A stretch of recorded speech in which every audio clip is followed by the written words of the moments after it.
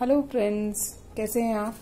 आज मैं आपके लिए लेकर आई हूँ एक बहुत ही यूज़फुल चीज़ जिसकी ज़रूरत तो हर घर में है, लेकिन काफ़ी लोगों को पता नहीं होता है इस चीज़ के बारे में। तो मैं आपको दिखाऊँगी एक ऐसी चीज़ जो कि आपके बहुत काम आने वाली है। ये है वैक्यूम स्टोरेज बैग मैंने ये फ्लिपकार्ट से ऑर्डर किया है। देखिए, ये एक पंप है। और इसके साथ में आते हैं ये चार एयर टाइट बैग्स आते हैं। ये बेसिकली स्पेस सेवर है। अगर आपको कोई भी चीज़, अपनी ड्रेस या फिर टॉवल रखना है क्लोथ्स हैं ब्लैंकेट्स हैं पिलोज हैं, कुछ भी आप स्टोर करके रखना चाहें या ट्रैवल में अपने ट्रॉली बैग में ले जाना चाहें तो आप इजीली ले जा सकते हैं। ये एक vacuum tight seal waterproof cover है। ये देखिए, जिनके पास ये मशीन होती है, आप एयरटेल उसके थ्रू कर सकते हैं और जिनके पास नहीं, उन्हें घबराने की ज़रूरत नहीं। उसके लिए कंपनी ने ये कॉम्प्लीमेंट्री एक पंप दिया है, जो कि सेम यही काम करेगा जो ये मशीन करती है।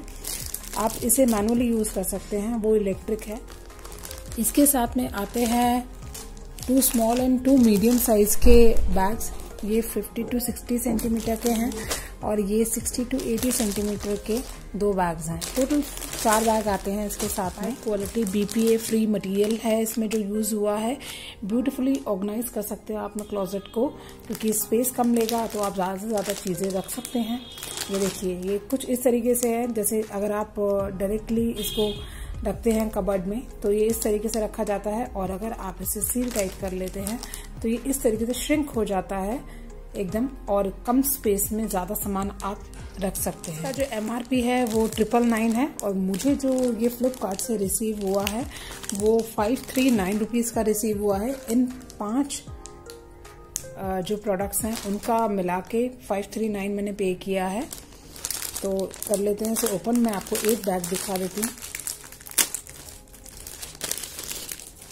ये देखिए काफ़ी बड़ा साइज़ है कोई छोटा साइज़ नहीं है ये। ये देखिए। ये देखिए फ्रेंड्स अगर मैं आपको 60 टू 80 सेंटीमीटर्स का अगर साइज़ दिखाऊँ तो ये कुछ इस साइज़ का है।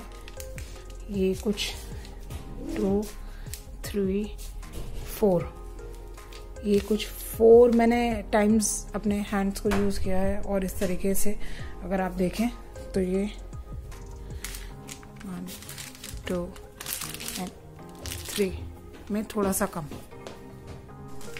ये देखिए फ्रेंड्स आपको इसको ओपन करना है और इस पंप को यहाँ लगाना है और इसको ट्विस्ट करना है थोड़ा सा। इधर पैक हो जाएगा और इसको आप ज़रा खींचेंगे तो अंदर कोई भी सामान होगा, वो सील टाइट हो जाएगा। तो वैसे ही इसको निकाल देना है और इस तरीके से इसको बंद कर देना। ये देखिए फ्रेंड्स मैं इसमें आपको ये रख के दिखाती हूँ। कि ये किस तरीके से वर्क करता है। ये देखिए, मैं आपको इस बैग के अंदर ये ये बैग रख के दिखाती हूँ कि ये किस तरीके से वर्क करता है। आपको सिंपली ओपन करना है। इसमें एक जिप पाउच दिया हुआ है। ये देखिए डबल जिप है इसके अंदर।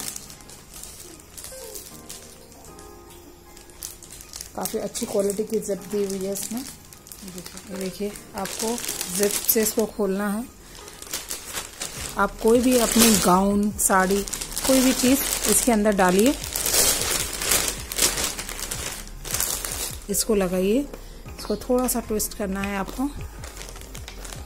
ये यहाँ पे लॉक हो जाता है और यहाँ से आपको इस जिप को खींच देना है ताकि ये ऊपर से एक बार लॉक हो जाए।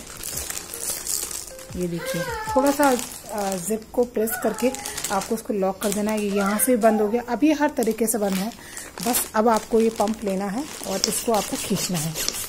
थोड़ी सी मेहनत लगेगी, इसके अंदर की जितनी एक्स्ट्रा एयर है, वो सारी बाहर आ जाएगी। ये देखिए, ये टाइट होना शुरू हो गया। आपको खुद का खुद पता लग जाएगा आपको कितना खींचना है। अब ये खींच नहीं रहा है थोड़ा सा प्रेस करना पड़ रहा है मुझे खींचने के लिए। तो इट मीन्स कि इसने इसको सील टाइट कर दिया। अब आपको इसको निकालना है और इसका जो कैप है, इसको लगा देना है। ये देखिए। एकदम मैं पॉलिथीन को पकड़ के इसको खींच भी नहीं सकती हूँ। ये इतना टाइट हो गया है। इजीली आप कितना ज़्यादा इसने वेट लिया होता है इजीली आप इसे कहीं पर भी स्टोर कर सकते हैं।